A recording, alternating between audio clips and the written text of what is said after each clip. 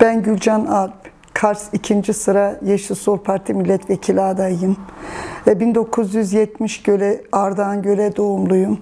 İlk ve ortaokul liseyi Ardahan'da okuduktan sonra, üniversiteyi bitirdikten sonra kadastro müdürlüğünde Ardahan'da bilgisayar operatörlüğü yaptım. 6 yıl e, usta öğreticilik yaptım ama e, 90'larda e, e, Emekçi Kadınlar Bülteni'nde e, editörlük yaptım. Kadın ve özgün işte genel çalışmalarda aktif olarak çalıştım. Yeşil Sol Parti'de e, ben e, e, yer almamın sebebi benim sorularımın cevabını Yeşil Sol Parti'de bulduğum için kadın mücadelesinde gerçekten önemli adımlar attığını, emek verdiğini ve kadının gerçekten gücünün Yeşil Sol Parti'de o açığa çıktığını hissettiğim bir parti. Gerçekten Türkiye genelinde de Yeşil Sol Parti kadına, gençliğe, Türkiye'deki bütün haksızlıklara cevap olan bir parti olduğu için, bir anahtar parti olduğu için ben kendimi Yeşil Sol Parti'de bulmaktayım. Kadın cinayetlerinin devlet tarafından örtbas edildiği, yani öldüren kocanın mahkemedeki duruşuna kadar e, es geçildiği işte bunları normalleştiren bu iktidarın e, cevap olacağını düşünüyorum Yeşil Sol Parti'nin. Türkiye Cumhuriyeti'nin e, hukuksuzca yargılamaları, sınıfsal mücadelede insanların gerçekten o alt tabakayla üst tabakanın fakirlik, yoksulluk arasında gerçekten ayrıştığını, zenginin çok zengin olduğu, fakirin çok fakir olduğu, e, e, bir e, dönemde yaşadığımız, sınıfsal mücadele veren insanların çok ağır tecritlere, haksızlıklarla karşılaştığı bir ülkede yaşadığım için elbette ki sorun benim adresim Yeşil Sol Parti olmalı. Ben 80'lerde e, e, devletin yanlış politikaları, hukuksuz yargılamalarına karşı mücadele eden bir babanın kızıydım. Sonra 2000'lerde 2009'da e, eşimin tekrar bu ulusal mücadeleye de var olduğunda siyasi bir mücadele ettiğini, haksızlıkların, hukuksuzlukların tekrar devam ettiği bir ülkede eşimin yargılandığı zaman ben terörist eşi olduğum.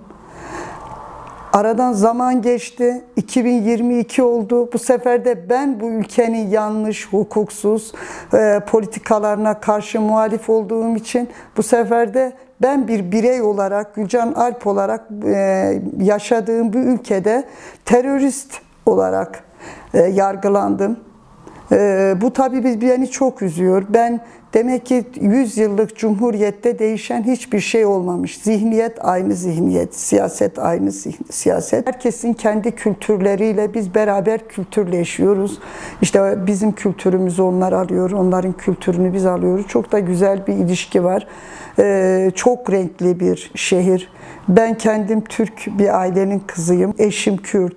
Ama hiçbir zaman e, insani olarak davrandığın zaman aramızda hiçbir fark yok. Sadece güzellikler var, farklı kültürler var. Ben sadece e, çok merak ediyorum ve gerçekten her seçimde bunu yaşıyor ve bir kadın, bir anne, bir insan olarak üzülüyorum. Farklı kültürdeki insanlar cenazelerimizde tabutları omuzlayabiliyoruz. Kirve oluyoruz, dünür oluyoruz. Ama benim anlamadığım bir şey var. Komşu olabiliyoruz. Seçim zamanı niye niye biz bizler hain oluyoruz? Bizler onların deyimiyle terörist oluyoruz. Ben halen daha bunun cevabını öğrenmiş değilim. Aslında inanıyorum ki onlar da biliyorlar yanlış düşündüklerini ama bu bir herhalde hastalık olsa gerek, ırkçılık. Bunlardan kurtulamıyorlar. Ben sadece bütün Kars'taki yaşayan bütün halklara sesleniyorum.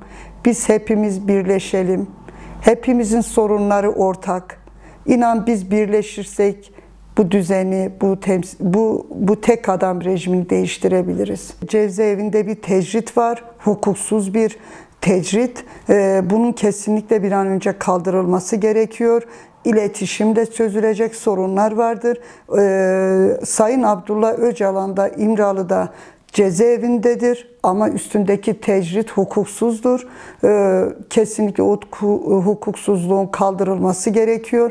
Ben kendim de zaten yakın bir tarihte cezaevinden çıktım. Kendim bunlara birebir şahit oldum. Haksız yere tek odada 40 gün kaldım. Sağlık sorunlarım tetikledi. Ee, sevkimizi istememize rağmen sevkimiz başka bir yere verilmedi. Bir hukuk ayıbıdır, insanlık kaybıdır.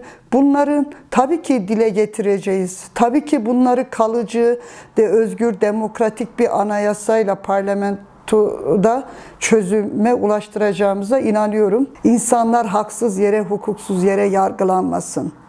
Bizler fakirliğe, yoksulluğa mecbur kalmayalım.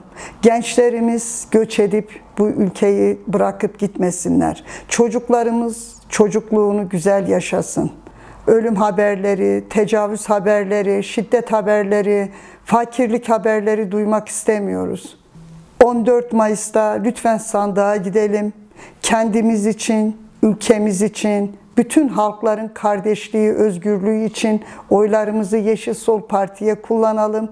Beraber güçlenelim, beraber birleşelim, beraber değiştirelim.